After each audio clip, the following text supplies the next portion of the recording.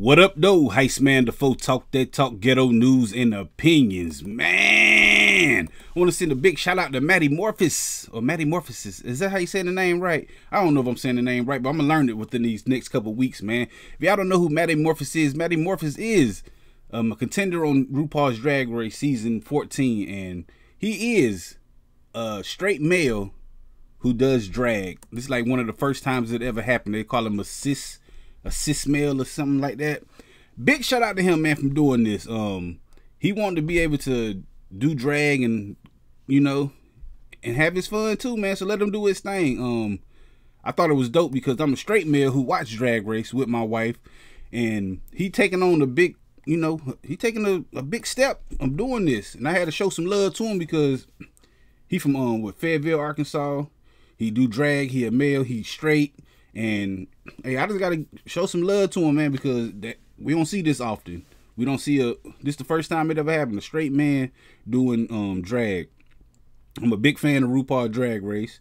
I will not be competing in RuPaul Drag Race season never, season nothing. I just watch from a distance, you know. Like I said, me and my wife watch this. Big shout out to them, and big shout out to him for doing this. Like when I seen this, I was like, oh, that's dope. And he had some good things to say.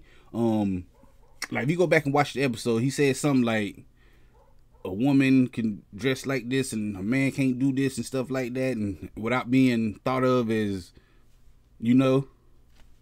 So hey man, he had some real good stuff. It was like it was like one of those moments. Everybody like, word, word, I, I feel you, dog. You you saying some real stuff. Um, like I said, it, it was dope. He dope. Um, um, I think RuPaul be trying them though. I, I, I will say that.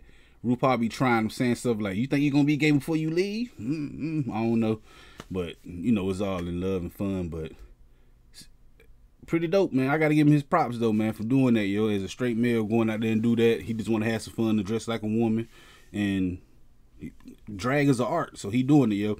One thing I will say though, RuPaul, you got a banger that song, man. Catwalk, man. I've been listening to that though. Hey, Dun, dun, dun. Hey, I don't know the beat, right? I can't I can't perform the beat right now, but y'all go listen to Catwalk by RuPaul.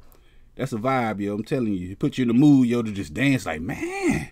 That's one of RuPaul's best songs, man. Y'all check it out on whatever streaming platform they have it, yo. I heard it, I keep hearing it, then they playing it while people um showing they catwalk. I mean showing they um you know what, what they be showing they they looks. They come out doing they looks. They were playing the song. I'm like, damn, RuPaul, that song jamming, yo.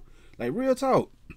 Anyway, we definitely gonna be talking about this Friday on this channel because I go live every Friday talking about stuff just like this. You just gotta come through and holler at me, man.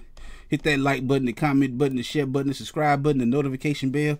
All them good buttons you gotta hit to get this pimping that I'm putting out when I put it out. And like I said, I go live every Friday at 9 p.m. Come through and holler at your boy Heist Man the. Talk that talk, ghetto news and opinions.